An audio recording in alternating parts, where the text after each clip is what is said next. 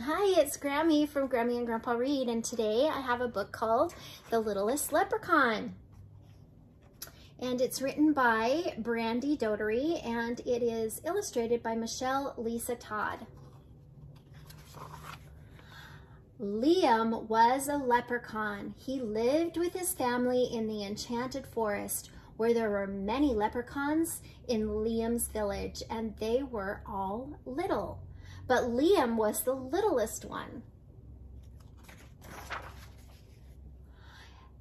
It was a beautiful day, but Liam was bored. He was tired of spending time playing hide and seek with his shadow. He wanted to have a big, important job.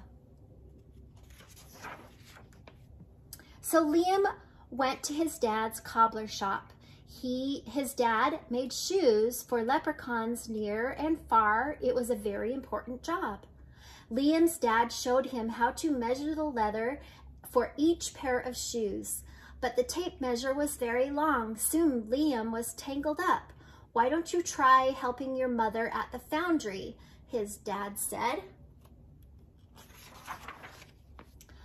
Liam skipped across the village to the foundry. Every leprechaun's family had a pot of gold at the end of the rainbow, and Liam's mom made all the pots. It was a very important job. Liam tried to keep the fire going while his mom melted iron for a new pot, but Liam's hands were too small to carry enough wood, and his legs were too short to run between the furnace and the woodpile. Soon the fire went out. I think your brothers and sisters could use a hand, Liam's mom said gently.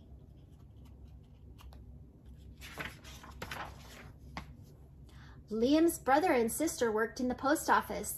They sent letters and packages all over the enchanted forest. It was a very important job.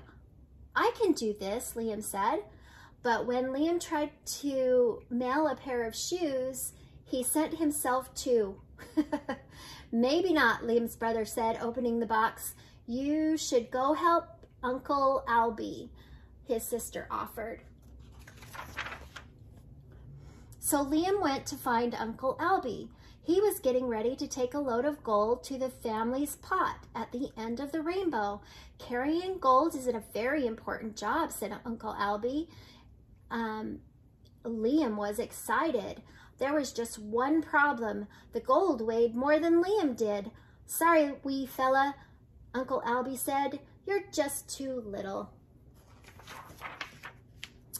Liam wandered through the enchanted forest. He kicked the dirt. He was sad. Liam knew that there had to be one important job he could do even if he was little. When Liam heard a commotion near the old oak tree, a group of leprechauns had gathered around a clover.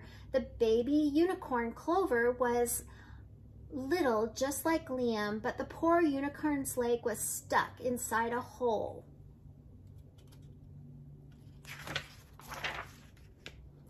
We need to dig a we need to dig a bigger hole, said one le leprechaun. We can't, replied another. The tree roots are in the way.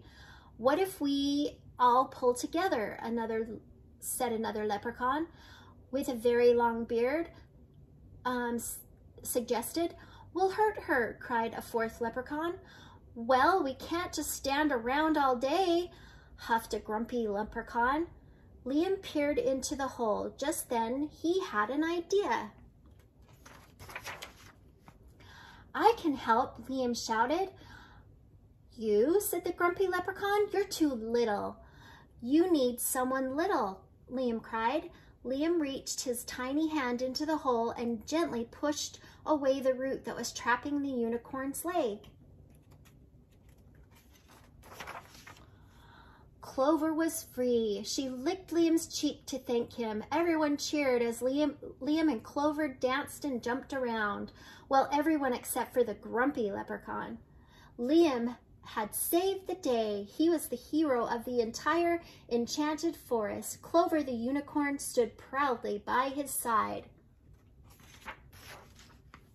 Before he knew it, there were jobs popping up all over Liam's village. Everyone seemed to need a little extra help. And Liam and Clover were the perfect size. Liam had found his big important job after all, but even better, he had also made a special friend. Oh, that's a good one, isn't it? I hope that you like this story. I hope you have a happy St. Patrick's Day. Please like our videos and subscribe to our channel.